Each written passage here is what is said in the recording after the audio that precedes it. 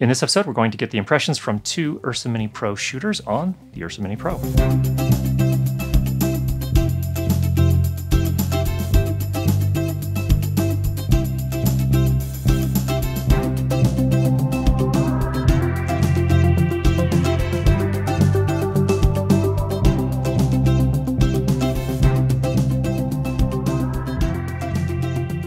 This episode, we're really lucky to have my brother Cary Judd here with us. Cary is a video shooter, does a lot of music videos, does uh, real estate video, um, and other kind of human interest pieces as well on a number of occasions. You've been shooting with Mini Pro for Six months? six months. Okay. Yep. Yeah. And I've been shooting with it for about nine months now, I think. Yeah.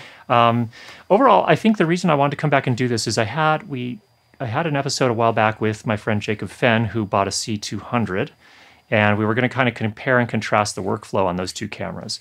And we ended up talking a lot more about the C200, and people were a little, little disappointed. and people said, "Hey, why have you not done a review of the Ursa Mini Pro?" So that's kind of what we're doing here. We're just going to talk impressions. I think a lot of other reviews have been put out already. Um, really kind of get the practical impressions and experience that we've had with that camera. So why don't we go to you first? What are some of the pros from your point of view on the Ursa Mini Pro?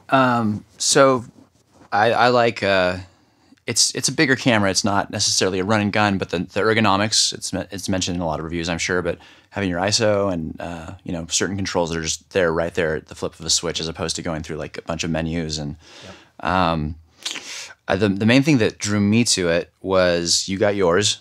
You came by the studio. I saw that log footage that we pull on the computer, and I was like blown away because I've worked on some you know TV commercial type things where there is you know um, uh, Alexas. Um, yeah, pretty much they were all Alexas, and the uh, and that that log image looked so similar to the Arri that I was I was so confused by that because it's you know this is a, an inexpensive working man's camera, and that was when the, the switch flipped and I was like I gotta have this, and it comes down to the image for me. Okay. And, and I think it's important to say here too, when we say working man camera, this is a cheap camera for a cinema camera. It's not necessarily a cheap camera for someone who's used to shooting on a $500 Panasonic, you know, G7 or whatever. Right. But but just to keep it all in perspective, this is a very inexpensive camera as far as cinema is concerned. Sure. Yeah, and the the brain for this camera is six thousand dollars, whereas an Alexa Mini XT probably starts at forty thousand dollars. Right. You know, and uh, for me that was my whole paradigm of what could be done was changed, and I think it's a great camera for people that are shooting DSLRs on their you know GH4, GH5s, their Sony's. Um, it's it's a very obvious, at least to me, was a very obvious um, step up into a cinema camera. Okay. Cool. So, it, uh, in terms of the log footage, um, what was it about that? My, my sense is that it has large, large part to do with the dynamic range is one big piece of it. Um, another part is the highlight roll off is not quite Alexa, but it's pretty close, Yeah. way closer than I would say. You know, a lot of DSLRs or Sure. Mirrorless cameras. Is was there something else about it too? I don't know. You just showed me that footage and I went blind. and, and there there is something big about that. So yeah, I definitely agree. I think the image is beautiful. I think the controls are invaluable. Um, it's a really just even even when you do have to go in the menus, the menus are pretty straightforward. Great menus. It's easier to use than my GH4 or my Nikon D750. I think as far as doing video. Yeah. And that that's another another point with it being a step up camera for DSLR shooters. Mm-hmm. The one of the really cool things is the native mounts. You can have your EF mount, PL, uh, Nikon F mount. Um, I think there's one other one too. There's a broadcast. Yeah, broadcast. Yeah. Yeah. So you have all those options. So you don't, because when you get a new camera, obviously you're gonna need all the components that that put it together. But if you're a Canon shooter, it comes standard with an EF mount, and all your lenses already work. Yeah, yeah, it's brilliant. Okay. Um, let's talk about another thing that I guess a lot of people mention is the ND filters. I found those immensely helpful. Not having to bring external ND filters and screw them on and get everything set up. It's just nice to be took, and you're Yep. and you're good to go outdoors. Yep. And coming from DSLR shooting, having that and not having to go and stop and do that and just be like, flip, we're good, we're good to go. It's it, it adds a it adds a running gun quality, even though you're working with a bigger camera, Yep. which I think is awesome. Um, and I think that matters too from a practical standpoint. When you get out on set, it, you don't have time. Y- y- any way you can save time is really helpful because then you don't pull yourself out of the creative process, and it makes a big difference. And I think, like even just setting up for this one, we're doing a three camera shoot here today. How long do you think it took us to set up? 20 minutes and we were kind of dinking around, as mom would say. Yeah. All right. Um, one thing we do have to talk about customer service. So I have on my side, I have a couple things that have not been perfect, but um, tell us about your experience, which is kind of a con, and then there's also a pro here too. Okay. Do I want to do I want to tell the whole? Tell the whole story. Okay. So I got my uh, I got my ump as I call it for short. I don't know if that's a standard thing, and uh, I'd had it maybe three or four months. Mm-hmm. And I got something that I refer to as pink screen. I went through all the forums to see what was causing pink screen. I didn't find it anywhere. Mm-hmm. No one had complained about this, and it was literally the screen was just going pink. And I think it was actually something with the image sensor. Got a hold of Blackmagic. They said do a firmware update. I did it. It seemed to work for maybe a couple more weeks, and then I got the pink screen again. Hit them up. They said send it back right away, Okay. and they just RMA'd it. They sent me a brand new one Okay. which was awesome. And that was it was where it was a little bit emotional for me because this is probably the most I'd ever spent on a camera, Yeah. and I was loving it and I was doing so much with it. Um, to even have it with not have it for a week was was tough. And the second one, there was a known issue with uh, the screen will flutter, and I think they've actually issued a recall on that. Okay. And so I got that, and I just kept the same email thread from the first time. And the guy said, "We're just going to overnight it here, and we're going to either fix it or we're sending you a new one like tomorrow." So I was only without my camera for two days, and they were super pleasant. They weren't. They didn't. They didn't treat you like an idiot. Like, well, you didn't do the software update, or do you know where?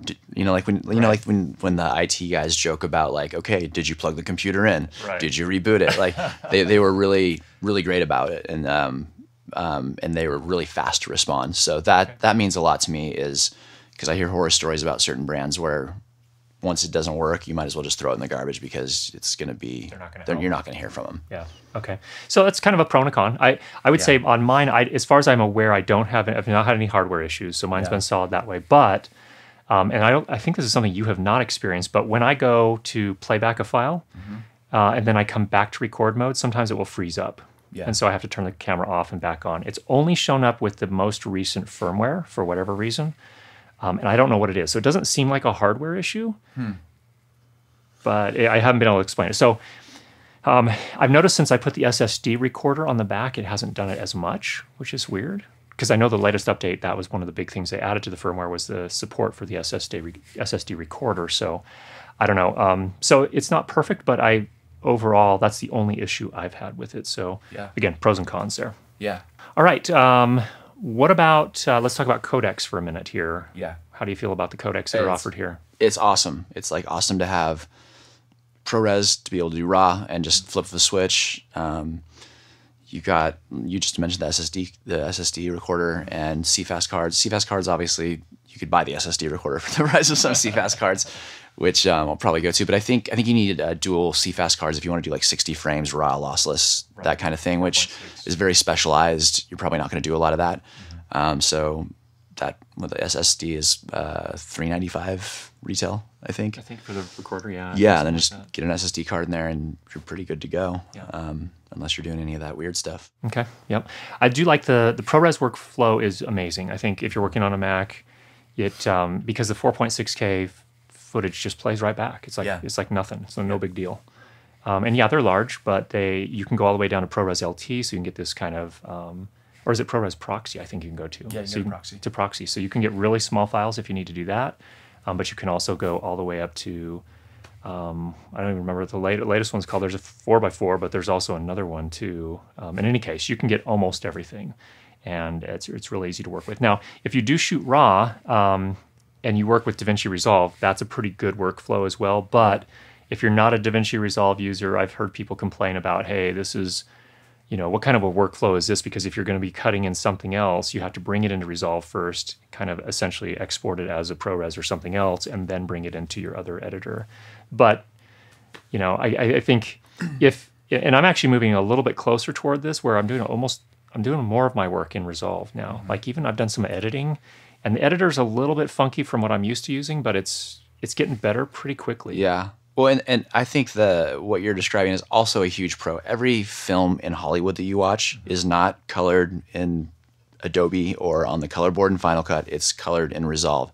So that brings us to another pro that you get the full version, the dongle with your camera. Good point. And um, and I am actually starting to migrate into just doing everything in Resolve. It's just a matter. It, it does slow you down a little bit because you don't know where all the controls are. It does have some defaults where you can have your Final Cut or Premiere hotkeys. Yep.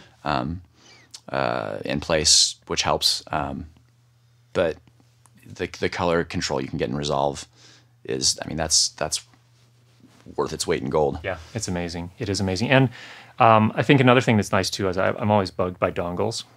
But I think the latest versions you don't have dongles; you just have a license number, which Oh, is cool. which is awesome. Nice. So too bad for us, but good for everybody Yeah. else. um, 4.6K. It's useful. Yeah. Um, I, I deliver everything in 1080 still. Um, it's n- nice to with a client being able to say we shoot in 4K. A lot of them don't know the difference unless you educate them. Uh, you have that image area that you can you know move around in or squash down for color density or whatever. Yep. Um, and uh, having 4.6K It's beautiful. it's it's beautiful. Um, I don't think there's there's a lot of you know there's a whole counting Ks debate, and um, it depends on the quality of the Ks, and these are good quality Ks, and uh, it, I don't know. I I I uh, am fumbling now, so Uh, I, I'm with you. It's just beautiful. It works. It works beautifully. I have noticed in some cases there is some moire, um, but you're going to get that with well. Yeah, here's where I get the haters. some cameras don't have a lot of issues with moire. Um, this one does have some, but it's not blurring. It's like uh, I. It'll be interesting to see if this shirt has any issues with it or not. Yeah, but it could be. Good example. um, Probably the burlap on the burlap could perhaps might see some of that. potentially. Um, I definitely when I'm shooting screens for you know in pieces where I have to do that every once in a while I get some, but um, you know if you know what you're looking for and you know how to work around it, it's it's a reality. I think the physical build on the cameras is really pretty solid. Like it's Yeah. an I think it's a I don't know if it's a magnesium alloy or what it is, Yeah, but it it's it's something really nice and it's a tough camera. Yeah. yeah. And before it's rigged out, it's not super heavy. I mean, you're looking at about six pounds. Yeah. You're probably looking at double that by the time you've put your whole kit together. But Um, also, we talked about the mounts a little bit. So yeah, you've got mount you got mount options. If if uh, in fact, I finally decided to go with some EF lenses. I've been shooting with Nikon lenses for the longest time. Um, Blackmagic was a little bit slow to come out with the Nikon mount. I think it just now hit. It's December 2017 right now. When they originally launched it, they said it would be available summer. it was Australian summer. That's what it was. That's what it was. We just get confused over here on this side of the pond. On so. this side of the pond, we just got completely confused. Yeah, I was annoyed with that for sure. yeah, um, but we've learned to adapt, and it's it's doing just fine. literally, right. literally adapt. literally adapt. and you don't need an expensive adapter with glass in it. It's literally just a little Yeah. metal ring. They're they're less than thirty bucks or whatever. All right, we talked. Uh, let's talk about a couple of cons. Um, for those of you coming from mirrorless cameras or DSLRs, this is not a light camera. It's not a mini. Um, even though it has the name mini in the Right. name, Yeah. but it is mini relative to uh, some other To the Ursa full size. yeah, it's, it's mini compared to that. I mean, it falls in the range of like a, like an FS seven hundred or maybe like a. Uh, uh, maybe it's a little bigger. Is it a It's- little I bigger? it's actually a little bigger. It is a little on the bigger side. I think it's actually, unless you get up into an Alexa or something like Yeah. that, it's bigger than pretty much everything I was else gonna in say Alexa. Mini might be a pretty fair weight comparison. Maybe, yeah. Maybe It's, I don't know. it's not, but it's not small. So if you're looking for something small, if you're looking for something you can fly on a gimbal, this may not be the right choice. For. Yeah, you. that was that was a hang up because I've been looking at different uh, gimbals, the Ronin M, Ronin MX, the Ronin One full size. None of them would do it, would hold it without certain modifications Right. that I wasn't necessarily comfortable doing. Um, I haven't seen anything come out. I've I've heard, so I, I don't have any authoritative, definitive information on this. That Ronin Two will hold it. It's kind of hard to pill, pill to swallow though to buy a gimbal that costs as much as your camera. Right. So I haven't done it yet. I'm I'm just happy with my glide cam, steady cam, put it on a vest, and it's not too bad. Yeah. Okay. Yep. Same here. So I think that's going to be a challenge. But again, when I'm flying on a gimbal, I'll usually pull out the smaller camera. That's where the, the Panasonic GH5 or 4 or whatever is actually a pretty good choice. Here are a couple funky things from me uh, as far as cons, and I think they're things that they can actually address in firmware. Number one, I love false color, um, but it would be really nice to have a false color scale actually on the screen, just so you know. huge. I mean, it'd be It really makes it nice so much more useful right away. yeah, exactly. And then as far as kind of the default exposure tool they put on the screen is a histogram, that's okay. You know, generally I can get where I need to go, but it's not as good of a tool as a waveform, a proper waveform monitor. So it'd be really nice to have a real waveform monitor on there as well. Now, I think what they're thinking is, you know, add their, um, what do they call it? They call it a studio viewfinder. It's actually a monitor. Yeah. And I think that probably I don't even know if that has that on there. I assume it has a waveform of some I sort. it, I think it does. I think when we looked at it last year, now that it, had, did, yeah. I'm pretty sure. Um, but it'd be nice to be able to have that just on the camera without having to, to add that additional Yeah. weight and size to it. So there's some things. All right, uh, just a couple of notes. These aren't necessarily something that will fall into the cons or the pros, but something to know that um, is just important. Number one, low light. Talk about low light. It's so yeah. It's not it's not a low light camera, and it's not it's not meant to be. So don't get disappointed when you're you know sitting around the kitchen table and you try it out for the first time. this is a production camera. This is a cinema camera. If you're not lighting or planning what the light's going to be when you're going to shoot, this isn't the camera you should be using anyway. You should Mm-hmm. Right. be on your GH5 or Sony A7 or whatever it is that you like for low light. Yep. Yep. Um, I completely agree. And actually, what I found too is if you if you light right, there's I'm not having noise issues even for low key shots. If you expose it right, it's just not it's just not really. And you're going to color grade it. It's not an issue. It's I, I haven't found it to be an issue at least. So, um, one thing I will say is that if you and this took me, you know, I've had it for I think almost nine months. I pre-ordered, so I got it right right as soon as it started shipping. But um, working with a log profile is a challenge. If you don't, you have to invest some time and effort into learning how to work with it because it's not just a matter of shooting a log profile, coming into post, increasing, you know, pushing up the, you know, Contrast and you know, saturation. lift and gain, and then adding contrast and adding saturation because the colors start to look like bubble gum and, and weird strange, stuff. yeah. So what I've learned from my friend Jacob Fenn, who's a colorist, is that what you really need to do is you really have to use that the 3D LUT that ships with it, and um, because what happens is there's some color transforms that need to take place, and they're not just linear transforms. It's not just a matter of grabbing the hue slider and moving it one way or the other. Um, that won't do it. So you actually have to do the uh, 3D LUT. And if when you do the 3D LUT, what's important too is you're going from the Blackmagic film profile to a Rec 709 profile. So the Rec 709 pro- profile has far fewer, far less latitude, less dynamic range. Right. And so things start to look really freaky at first, especially if you're used to exposing to the right. Um, and so what I found is you also have to expose right. You really have to keep those skin tones in the you know the 40 to 60 IRE range. You can't you can't push them as far as to the right if you want if you're going to use this and expect it to just look great out of the camera. Right. And I think that's an important note for people. Like I said, this I feel like this is the step out of the DSLR world. Um, you're not just dropping your H264 SD card in and then you know go and do that thing. You do need to um, gain a little bit of technical knowledge. And as you know, I tend to be like shooting from the hip, creative ideas, and like, why doesn't this look good? What's wrong with this camera? I don't understand. And so you do need to take a little bit of time to get to know the camera and understand what you see on the screen, how that's going to translate to your computer and when you edit it.